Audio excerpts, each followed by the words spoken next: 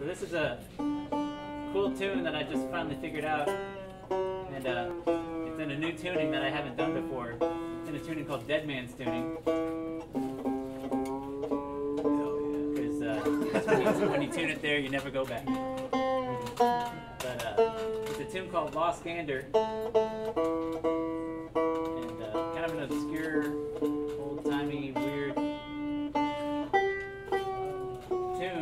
kind of hear the geese flying over the top.